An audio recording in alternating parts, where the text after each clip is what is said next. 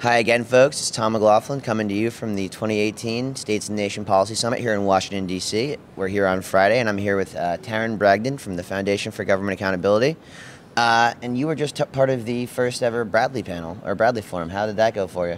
It was a really great opportunity. I was a member of ALEC years ago, so it's fun to be back here and talking with the members today. That's right. You uh, said you were a member of ALEC. You were a uh, you were in the Maine state legislature, weren't you? I was. Uh, I had the honor of being elected in 1996, so 22 years ago. It's amazing how time passes. Wow. Curse of adulthood. Yeah. uh, but it was a great experience. Uh, and which which branch of the Maine government were you in? Uh, the House of Representatives. You were a representative. terms. Yep. Great. So, uh, is there any kind of experiences or any kind of um, lessons that you bring from the Maine State House to what you do now? I think one of the great opportunities of being an elected official is you understand firsthand what constituents, what Right. voters deal with. And so it gives you a sense of empathy for the diverse group that you represent. I had in my district one of the largest uh, blocks of public housing north of Boston Oh, in wow. Maine. Uh, as well as some very prosperous areas. So it was a really diverse district. Um, and that was a great experience, but you also appreciate the burdens that a lot of public officials have with having to cover lots of different issues. Right. And so they need help with expertise in particular areas. Very cool. Uh, so now you guys over at the FGA do a lot of uh, stuff with Medicare, Medicaid, uh, that sort of thing. Can you go deeper on what you guys do with that? Sure. So at the Foundation for Government Accountability, what we're focused on is how do we help millions of Americans achieve the American dream? And we focus on three different policy areas uh, focused on that one big goal. One, helping people move from welfare to work. Two, reducing different government barriers to better jobs or with bigger paychecks. And number three, uh, expanding private healthcare options so that people can have coverage as they move from welfare to work and better jobs. Very cool. So, uh, what are kind of some of the policy prescriptions that you that you see as uh, important to bringing uh, bringing America, helping Americans get to work and you know have a better life? Well, first and foremost, we're in a really exciting economic and political moment.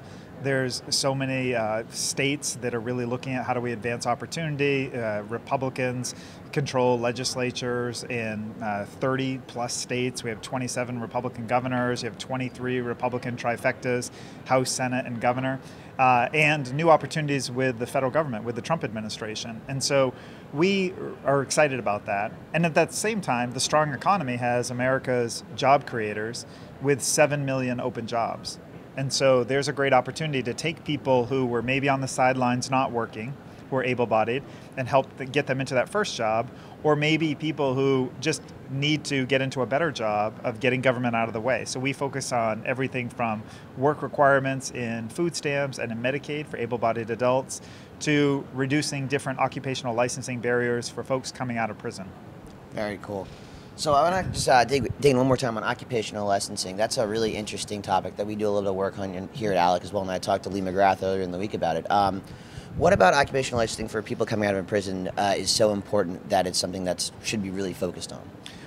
It's a great question. So, in the 1950s, only 5% of the workforce required an occupational license. Today, it's almost a third. And for folks without a college degree, oftentimes an occupational license is the pathway to getting a better paying job. Folks with an occupational license oftentimes are earning, without a college degree, earning 10, 15, 20% more than their counterparts. But what happens is, in a lot of states, folks with a criminal record, could be a felony criminal record or could be just even a more minor criminal record, are sometimes permanently exempt from getting certain occupational licenses. So we created this model legislation uh, about a year ago called Fresh Start that says if your crime is in the past, if it's not health and safety related, so we're not talking about violent crimes, but Right. more minor felonies uh, and misdemeanors, then you should not be banned from going into certain occupations. Awesome. So kind of about uh, lowering, bar- lowering barriers to economic empowerment then. Exactly. And what we know is for people coming out of prison, a job is one of the best predictors of whether they'll go back. So you come out of prison, you essentially have two choices go get a job or turn back to crime.